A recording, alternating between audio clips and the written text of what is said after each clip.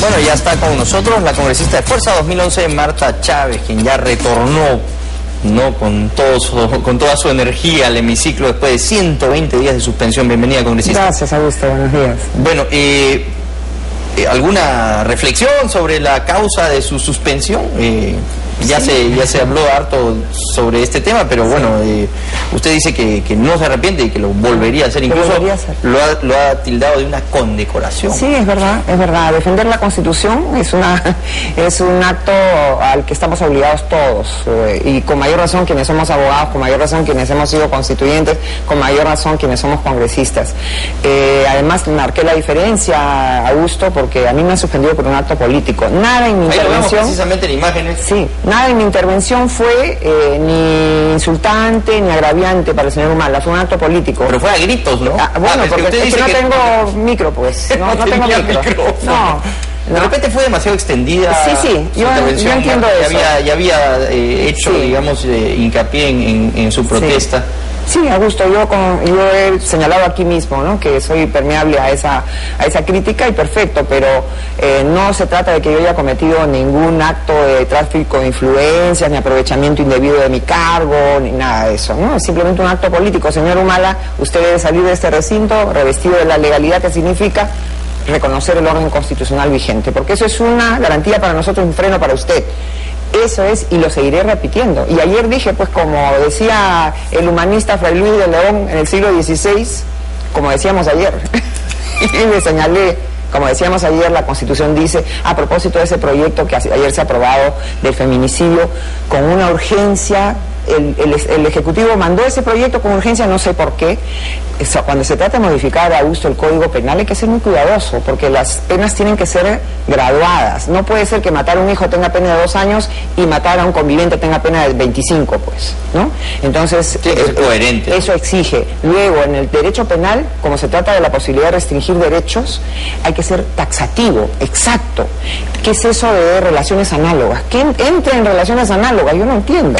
Tú puedes decir una pistola o una ametralladora o algo análogo, es un material, es un hecho, pero en una situación que significa consecuencias jurídicas. Es una ¿no? imprecisión peligrosa. Absoluta y, y, lamentablemente he encontrado un congreso en el que todo el mundo a voz baja dice, oye, esto es una porquería, pero tenemos que aprobarla, Muchos han, han, reclamado que Algunos, esto no, no es una Uh, uh, algo serio, no es una, sí. una, forma de legislar yo hubiera preferido de, Augusto, manera responsable, sobre todo tratando claro. el código penal, como sí. dice usted. Yo hubiera preferido entonces que digan claramente, el que mata a una mujer tiene tal pena, y basta. Pero ¿para qué meterse en eh, una relación análoga al matrimonio y, o a la convivencia? Yo no he escogido esa palabra, análoga. Por, por la incapacidad. Peor, estaban hablando de relaciones afectivas, relaciones sentimentales. ¿Qué es eso, relaciones sentimentales? No, siquiera esto es ya un poquito más apretadito. Había un apresuramiento político. Eh, sí, yo no sobre entiendo. todo, por ejemplo, cuando su compañera de bancada, el yo no entiendo, yo no estaba eh, tratando Sí, de, de sí. empujar el coche en Y, ese era- sentido. y es un proyecto que viene con la urgencia de Palacio de Gobierno, ni siquiera es un proyecto general en el Congreso, pero además, Augusto, me llamaba la atención que congresistas del propio partido humanista dicen, sí, yo veo este problema, este problema, pero ya aprobemos de una vez y mañana se arregla. ¿Se puede arreglar? No, pero es que El texto aprobado ya no se puede cambiar. no, pues, y es- además hay otro vicio que he encontrado a gusto, y es que eh, hay una segunda votación, precisamente se prevé para un Congreso unicameral una segunda votación para dar una eh, semana, días de reflexión, para que, por ejemplo, en este caso, esa es la primera votación y, y hay un espacio para que los especialistas y la gente opine y el Congreso en una siguiente semana vuelva a revisar el tema y reafirme o modifique algo. Pero no, el vicio es que al minuto ya se hace la segunda votación. ¿Qué sentido tiene ese mecanismo de eh, reflexión? Ninguno. Ese es un vicio que he encontrado y voté en contra de eso también y seguiré siendo la voz solitaria porque he encontrado un Congreso pasmado donde ya dan las cosas por hecho, donde se habla en voz baja, ¿no? Esa es, esa es la, la percepción que usted tiene del, del Palacio es. No reconozco, no reconozco, yo regreso al Congreso después de cinco años. Eh, durante el gobierno del señor Toledo a mí me suspendieron tres años y medio. Prácticamente mi recuerdo mayor es del Congreso de los años 90, donde buscábamos pulcramente sacar las leyes que hasta ahora nuestra propia constitución, Augusto, tiene ya 18 años. Han modificado algunas pequeñas cosas, pequeñísimas, pero ahí está. Firme. Las leyes que se han dado en, la década de los 90 son aquellas, y por eso también quería decir, el señor Tapia se presenta diciendo que el Estado debe regular. Ya está regulada la concesión de proyectos mineros. Se exige impacto ambiental, no es una creación del señor Tapia. Se exige eso, está en la ley, ¿no? Entonces, eh, son leyes que deben sostenerse. Las leyes, el Congreso no es una fábrica de leyes al tuntún. Eh, me, van a encontrar pues diciendo a mí en una guerra solitaria, ojalá que poco a poco, poco, se sumen otras personas.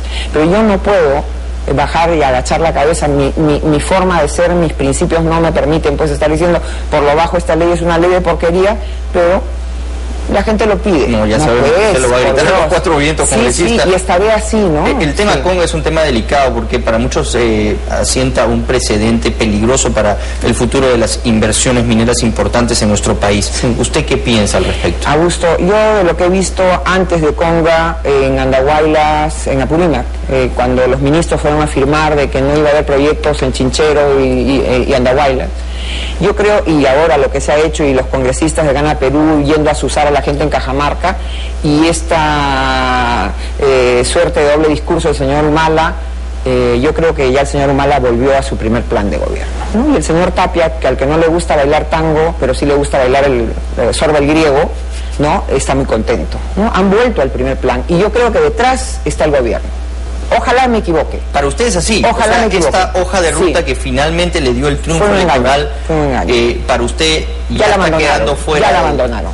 ¿no? Ya la abandonaron y entonces veremos entonces de repente ahora viene Ayacucho, ahora viene Huancavelica, ahora viene Piura y, detrás está el gobierno, porque el señor Humala tiene la posibilidad de decretar el, el estado de excepción, el estado de emergencia, la Constitución artículo 137 ¿no? Le dice que eh, cuando hay convulsión, hay personas varadas hace nueve días, hay gente que no puede ir a sus hogares, conozco casos dramáticos, madres que han dejado a sus hijos no pueden volver a ver a sus hijos, a sus padres ancianos o profesionales que han dejado sus estudios, sus trabajos y no pueden volver, porque hace nueve días están prisioneros, no pueden salir ni por aire ni por tierra de Cajamarca. Eso es una violación ya, ya, se suspendió el proyecto y sigue la, la, No, es que quieren más, es, por, repito, no es suspensión, además, eh, eh, Augusto, ¿quién nos garantiza que en este caso del proyecto eh, Conga, en que está, sí, yo creo que hay serios eh, eh, eh, problemas, o por lo menos de explicar en el uso del agua y las lagunas. Yo soy una persona ecologista, yo soy una persona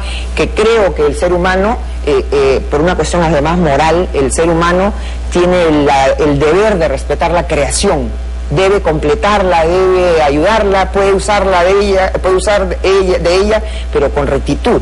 ¿No? Hay que cuidar los bienes que, el creador nos ha puesto cerca, pero tampoco creo que se debe llegar al extremo de decir no y no y no. ¿Y quién además? Un inepto y, desvergonzado como el señor Santos, que tiene millones acumulados del canon minero en las cuentas del gobierno regional y no los gasta. No, y los, usa para, y los usa para, para movilizar gente en contra de precisamente quienes le dan eh, esa economía. ¿Y el señor Humala qué hace? Él ha podido ya decretar un estado de emergencia. ¿Qué significa el estado de emergencia? Suspendo algunas libertades. No es que le voy a meter bala a la gente, simplemente suspendo el derecho de reunión, el derecho de tránsito, eh, la posibilidad de, eh, ir a los domicilios para ver dónde se están produciendo preparaciones de actos delictivos y libero la posibilidad de que haya gente que salgan. Están secuestradas personas. Es posible que un gobierno eh, eh, eh, justifique o consienta que se secuestre a cientos de personas? ¿Usted piensa que Ollanta aún no agarra las riendas de este gobierno? Yo creo que ya las agarró y ya volvió a su primer plan de gobierno. ojalá me equivoque, Augusto, pero yo creo que ya volvieron a su primer plan de gobierno y esto es el comienzo de lo que temíamos, de lo que temíamos. ¿no? Y entonces tendrán ahora, dicen que en diciembre van a salir ministros, van a salir, le aseguro, los ministros que representaban una opción distinta al primer plan de gobierno. O sea, los ministros de Energía y Minas, el de, ministro de, Agricultura. el de Agricultura, etc. Y probablemente el de Economía mismo, ¿no? Sí. ¿Usted sí piensa que el ministro de Economía, que es el gran garante que tenemos ahorita... A menos que le guste tanto el cargo que, quiera quedarse, pero no pega pues, no, no su, su, perfil no pega con este tipo de, eh, de, cosas. Además, él tiene que saber como economista que en dos años el Perú se cae. El Perú no es Venezuela, Venezuela puede agonizar sin sector productivo porque tiene un pozo de petróleo del cual saca dinero permanentemente. Perú no tiene eso. Perú no puede agonizar eternamente, Perú muere en dos años, en un año y medio. ¿ya? En, qué es lo que duren las reservas que se tienen, la parte de las reservas, porque buena parte de las reservas son también los depósitos obligatorios que hacen los bancos de los ahorros nuestros, ¿no? Eh, eh, hoy Correo pone en primera plana una noticia preocupante, ¿no? Eh, el proyecto Galeno de Lumina tampoco se iría, ¿no? Es una, es una, tenemos, es una secuela, Augusto. ¿El efecto Conga es tal? Sí. Sí, yo creo que sí. ¿Para usted hay un efecto conga sobre la inversión minera en ese yo país? Yo creo que hay un efecto eh, primer plan de gobierno. Ya regresaron al primer plan de gobierno. Ese es el tema. Ahora, pero el, el, Perú eh, eligió precisamente a Humala porque se iba a regir con los parámetros de esta nueva hoja de ruta que presentaron finalmente y que respetaba eh, cierto grado de continuidad con el modelo económico que venía siendo exitoso para muchos. Creo que esa fue una estrategia simplemente para hacerse del poder. Una vez que están en el poder, van a bailar, van a bailar solo el video, lamentablemente. Bueno, eh, hablemos del líder histórico del Fujimorismo, Alberto Fujimori. Eh, ¿Cuál es la situación eh, sobre su indulto? Porque al parecer el presidente no quería aceptar un indulto porque sería para él asumir la culpa. Pero ahora sí parece que, que podría él aceptar esta, esta situación eh, debido a, su deterioro en, la salud? Sí, creo que es una medida de emergencia, una situación de presión, ¿no? Yo he sido la primera en decir no al indulto, no a la amnistía en el caso del presidente Fujimori porque un inocente no necesita un perdón. El inocente necesita garantías para que se reconozca su inocencia, ¿no? Pero está la gravedad de la situación en lo que atañe a la salud del presidente, que parece que su familia y él mismo están obligados a aceptar ¿No? Ahora vamos a ver si quieran dárselo. Ese es otro riesgo. Y, ojalá que se lo den sin plazo de vida, porque van a querer dárselo para que se muera en dos meses. Y si no se mueren dos meses, entonces se lo quitan. Yo, este, yo preferiría, eh, ojalá, si, si mi deseo pudiera significar ese milagro, resista usted, presidente, ahí en las peores condiciones que le pongan. Resista y viva, porque llegará un momento en que la justicia de los hombres y la justicia de Dios le hará justicia a usted. Pero cada cual toma sus decisiones pues personales y su familia tiene derecho a ver evitar de que se deteriore su salud. Ahora eso no significa que no deba seguir luchando por su inocencia. Era que luche por su inocencia, ¿no? Hay una disputa que algunos han querido ventilar entre Keiko Fujimori y Kenji Fujimori. ¿Usted sabe si esto es real? No creo y sería sería un absurdo, sería absurdo. El proyecto político del Fujimorismo es uno solo. Ellos son los hijos del máximo líder del Fujimorismo, están obligados a y, y Keiko tiene una una tarea eh, ella es lideresa del Fujimorismo hoy, eh, entonces este, no puede ser que su hermano signifique para ella ningún problema, al contrario. ¿no? ¿No están preparando a Kenji para el 2016? Mm. Eh, lo, que, lo que parece es que se le estaría haciendo un media training muy riguroso para que él eh, sepa cómo enfrentarse a las cámaras y sepa cómo eh, presentarse en público, porque tiene una aceptación asombrosa con, con, con la gente, ¿no? Sí, Así sí. uno de los congresistas más votados. No, sí. Y Muchos no se explican por qué, pero él está ahí. No, no, él hace tiene, un trabajo. goza de mucha popularidad. No, él hace un trabajo de bases importantísimo. Él tiene una presencia política importantísima, pero eso no significa que uno tenga que ser líder o pueda tener capacidad para dirigir un país. Keiko ha aprendido muchísimo y creo que está preparada. Ella debió ganar estas elecciones. Eh, yo no creo que Kenji pueda. Además, creo que no va a tener edad el año 2016 todavía para, para ser presidente. Entonces, pero no, nunca se me ha pasado por la cabeza eso.